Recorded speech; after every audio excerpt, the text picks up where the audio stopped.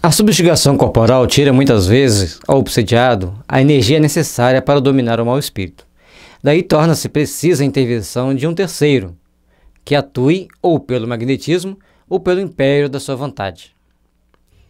Nessa parte, que a gente, que é a parte mais delicada da situação, é importante, voltamos a dizer, que a pessoa tenha, que a família da pessoa se comprometa com o tratamento.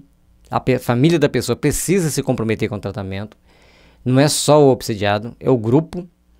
As pessoas envolvidas no tratamento estejam comprometidos com o bem, comprometidos com a verdade, para buscar esclarecer esse irmão, esse espírito, e também melhorarem seu magnetismo com a boa dieta, dieta importante, para poder dar os passes e poder conversar com o espírito de forma prudente, amorosa e segura. a pessoa sob o império da subjugação, ele precisa de muito apoio. Em falta do concurso do obsidiado, essa terceira pessoa deve tomar ascendente sobre o espírito. Porém, como este ascendente só pode ser moral, só um ser moralmente superior ao espírito é dado assumi-lo. E seu poder será tanto maior quanto maior for a sua superioridade moral. Porque então se impõe aquela que se vê forçado a inclinar-se diante dele. Por isso é que Jesus tinha tão grande poder para expulsar o a que naquela época se chamava de demônio, isto é, os maus espíritos obsessores. Então, gente, nós temos que ver a questão da superioridade moral. Quando eu estava fazendo o curso de homeopatia, eu fui entender o que é psicose, o que é luetismo, o que é tuberculinismo, cancerinismo, entendi isso ali, entendi que a superioridade moral é algo muito mais forte. Quando as pessoas têm uma vida promíscua, tem vários parceiros sexuais, várias parceiras sexuais, ele começa a aumentar essa psicose, esse luetismo, ou seja, um conjunto de energia tal qual tivesse tido sífilis, tal qual tivesse tido gonorreia, o seu perispírito vai ter que gerar energia para se tratar, para se manter vivo, porque a psicose, que é a energia derivada de uma gonorreia, seja ela primária, secundária ou terciária, dentro da explicação homeopática, a pessoa tem, tem muitas inflamações, então ele vai gerar energia, essas energias vão ser para se autotratar. Quando a pessoa tem um parceiro, uma parceira fixa, essas energias já começam a sobrar, porque o corpo vai se manter mais saudável. Mas também nós temos que entender que não é só o fato de ter um parceiro ou uma parceira fixa que a pessoa vai, ter, vai ser saudável. É importante que a relação do casal seja também saudável seja dentro dos padrões de ética, de moral que se espera de um casal. Não vou interferir, dizer que tem que ser desse ou daquele jeito, a cada um faça a sua reflexão e procure seu entendimento, para que dessa forma as pessoas consigam trabalhar-se intimamente para essa recuperação, para essa melhoria íntima que todos nós devemos procurar ter. Quanto maior for a sua superioridade moral, a gente já leu isso aqui, né? Então, quanto mais moral tem o médium, quanto mais ele procura se sublimar, a gente falou só da parte promíscua, mas tem a parte também técnica, financeira, da relação com os colegas de trabalho, com as relações com, com os impostos, né? com a relação à ética profissional, ou seja, a questão moral ela é muito mais ampla do que simplesmente a parte sexual. Então, essa pessoa quando ela tem essa, essa, esse ascendente moral, essa ascensão moral sobre o espírito, aí ele vai tomar determinadas atitudes que ele vai ter que entender que ele não pode continuar afrontando e afrontando e enfrentando da mesma forma aquela situação.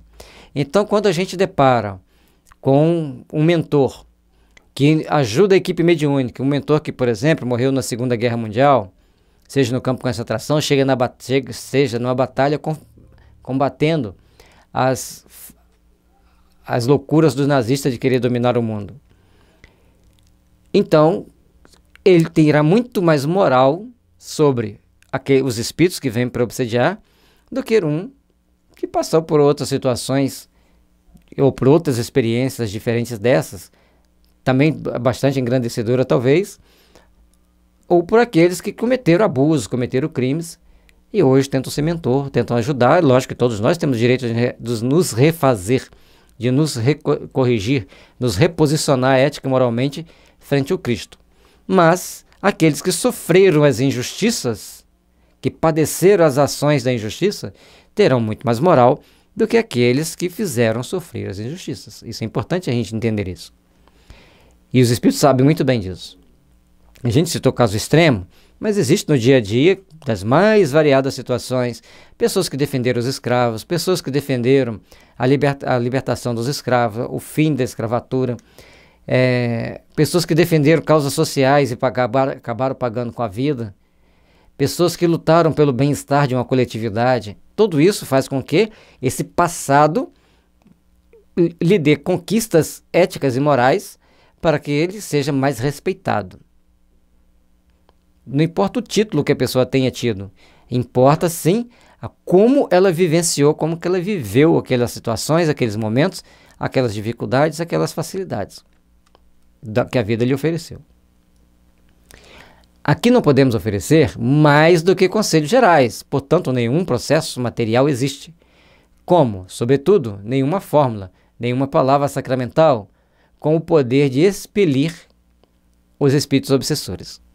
Ou seja, para você tirar aquela obstinação do espírito obsessor de atacar, de fazer o mal, há um conjunto de valores, um conjunto de ações que vão passo a passo esmorecendo aquela tenacidade dele de atacar, para que ele possa libertar a pessoa, para que ele possa seguir o caminho dele em paz e deixar que a pessoa também siga o caminho dela em paz. E ambos, lógico, vão crescer para Deus, principalmente o que estava obsediando. Esse trabalho de desobsessão pode levar tempos, an meses, anos, mas na hora mais propícia, a espiritualidade saberá liber, liber, liberar e libertar o obsedado do obsessor. Às vezes, o que falta ao obsediado é força fluídica suficiente. Neste caso, a ação magnética de um bom magnetizador lhe pode ser de grande proveito. Contudo, é sempre conveniente procurar por um médium de confiança, os conselhos de um espírito superior ou de um anjo guardião. Então, o médium que está obsediado, está subjugado, vai ajudar. Um, ah, o passe magnético vai ajudar. A água fluida vai ajudar. Se ele tiver condições de fazer tarefa, vai ajudar. O auxílio de outro médium, aí dois médiums juntos, vai ter mais força magnética sobre aquele espírito obsessor e também do espírito superior ou um anjo guardião também vão ajudar a dar essa força para que o obsediado consiga obter mais força. E a nossa experiência tem mostrado que algumas homeopatias ajudam nesse trabalho de desobsessão. E ajudam muito. São remédios exclusivos para quem tem surtos. Então, a gente evita falar o nome do remédio. Mas são, são vários remédios que a gente chama de remédios psíquicos. No site csterapias.com.br vai, vai estar lá postado esses remédios psíquicos, são remédios que são mais úteis em transtornos psíquicos. Vai ajudar, mas sem o tratamento espiritual, nem adianta dar o remédio. São conjunto de forças se associando. Da mesma forma, você dá o passe na pessoa, mas a pessoa não quer ir ao centro espírita, não quer tomar água fluida, não quer ler um livro, não quer fazer a reforma íntima, quer continuar do mesmo jeito, vai ser bem mais complicado. A misericórdia divina sempre vem para nos ajudar. Tudo que nos é oferecido, tudo que os todas as técnicas que existem para nos fazer melhores, para nos ajudar a nos corrigir. Portanto, saibamos utilizar essas técnicas, saibamos estar com o coração aberto para aprendermos técnicas novas e, ao longo do tempo, todos nós nos tornaremos espíritos melhores e, com isso, ah, logicamente, os espíritos que estão em torno de nós também serão melhores. Que Jesus abençoe o seu lar, abençoe toda a sua família e nos envolva no seu grande amor, na sua grande luz.